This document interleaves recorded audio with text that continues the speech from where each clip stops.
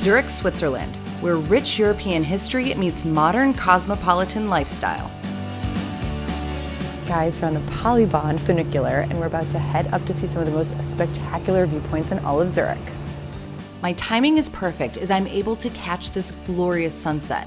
And right behind me is the ETH, where Einstein himself studied and taught.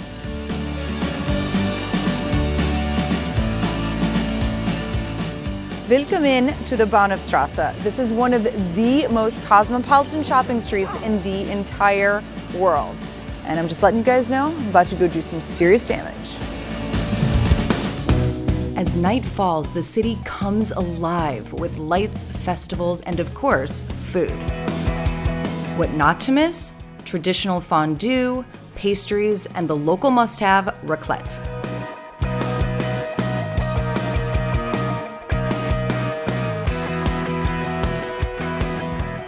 This Christmas market is off the hook. It's literally the biggest party ever outside, and everyone's drinking and eating. And I also found out this Christmas market is all food. So it's basically my dream come true, so let's go eat. And drink what became my newest obsession mulled wine.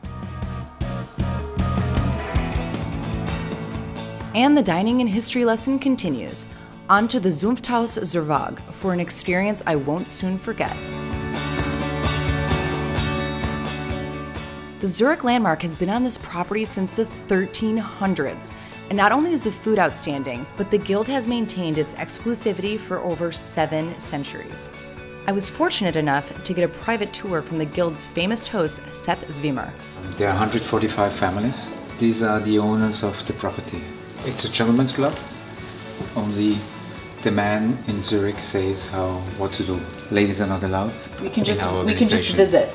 That's right.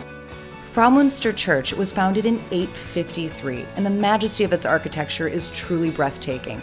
It even has stained glass windows by Marc Chagall. And finally, it's time to retire back to the uber chic Marktgasse Hotel, but not before one final indulgence.